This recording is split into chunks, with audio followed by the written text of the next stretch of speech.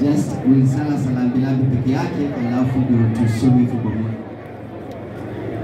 Thank you. Uh, the Lord is good. The Lord is good. And all the time.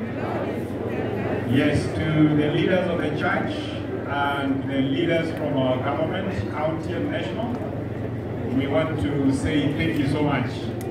We are coming this way on behalf of SDA Church Eden Springs, Nairobi, where our sister together with our brother live. On behalf of the church, we are here to say condolences to the family. We want to pray to uh, Doreen and uh, three children. We are praying for uh, dad to Elijah and mommy.